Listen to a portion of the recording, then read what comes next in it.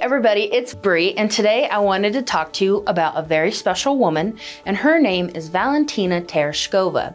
And she is the very first woman to go to space when she did so on June 16th, 1963, aboard the Vostok 6 mission. And she currently holds five records, and I wanted to go over those with you today. So, her first record, as I kind of mentioned, she is the very first woman to go to space. The USSR had put the first man in space, and after that, they decided to put a woman's program together because they believed that that is what NASA was working towards next. However, the US and NASA, they didn't put a woman in space until 20 years later in 1983 with Sally Ride aboard the STS 7 shuttle mission. Record two for her is that she is the only woman to do a solo travel in space. And then her third record is that she is the first woman to orbit the Earth.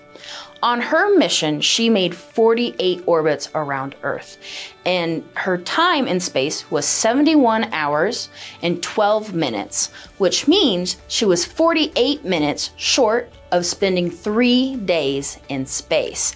And at that time, that was more than the combined time of all of the US Mercury astronauts.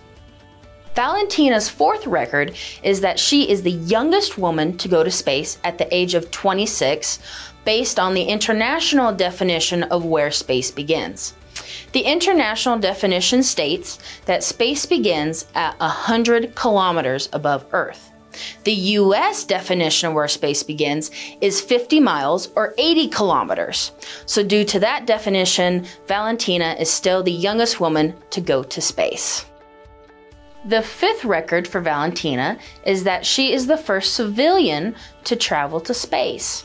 Five women were chosen for the Soviet space program. Four of those had a background of being test pilots. Valentina, instead, her background was in parachuting. She was an amateur parachutist at the time. And when the cosmonauts were coming down from orbit onto Earth, they were actually having to parachute out of their capsules before it impacted with Earth, as opposed to NASA, who was sending the capsules out to the ocean. So that is what made Valentina's application very nice, was that she had that background in parachuting. Also, it has been suggested that she was really good for the propaganda side of her mission. She had a proletariat background, you know, a middle class working family. She was a textile factory worker, and her father was pronounced a war hero when he died in World War II.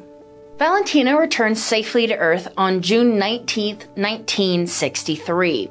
She would never again travel to space as the female cosmonaut group was disbanded in October of 1969. She instead went into politics, where she became a high profile member for the Communist Party. She would travel around the globe, going to different conferences representing the Soviet government.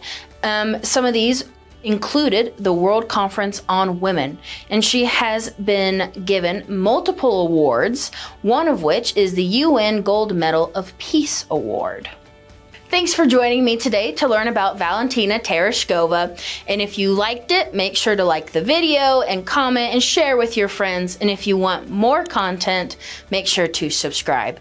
And remember, for all womankind, the sky is not the limit, just the beginning.